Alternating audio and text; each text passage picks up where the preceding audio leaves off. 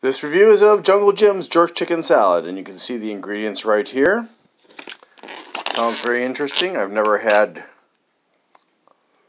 this particular recipe before, but we're going to give it a try. Hopefully, it's good.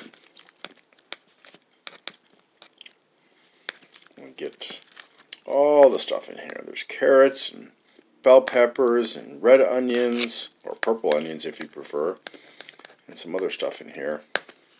Just want to try to get all of it. But maybe that's not carrots. Maybe that's bell peppers too.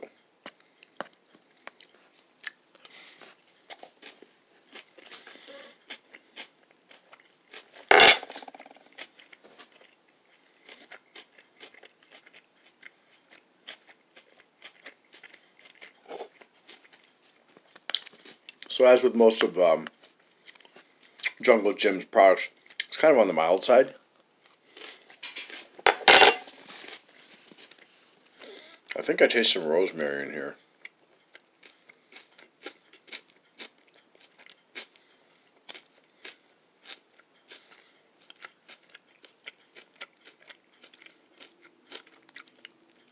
Well, it does have ginger and cilantro, lime juice. Hmm.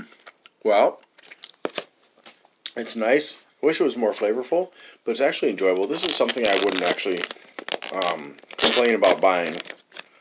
So, it's good. Thank you very much for watching, and I hope you have a great day.